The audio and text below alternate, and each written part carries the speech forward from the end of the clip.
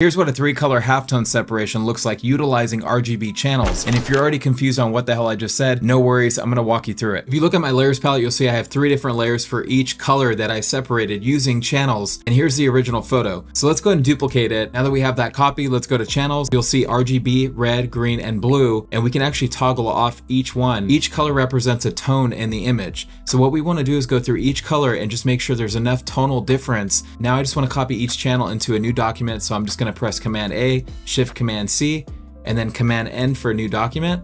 Press OK or create, and then Shift Command V to paste in place. So that's blue, and we're gonna do that for each color. We just wanna make sure we're selecting the new layer in the new document, and then head up to Image, Mode, bitmap, the output controls how big those pixels are. So I'm going for more of a exaggerated pixelated look. So I'm choosing 80 for my output. And then my method is halftone screen. I'm gonna press okay. Now we need to reverse what we just did pretty much. So go up to image mode, grayscale, press okay, and just keep the ratio at one. Head up to image again, RGB. Now, the most important part, we're gonna go to image size. Under image size resolution, you just wanna set this back to 300, and then you wanna resample it as nearest neighbor hard edges. Delete the background with the magic wand tool. Back at our original document, we just need to create a new layer and then paste that new bitmapped layer in place. And then I just added a color layer to each uh, individual layer to give it a specific color palette. And that's pretty much it. When you combine everything together, you should have something that looks like this. Enjoy.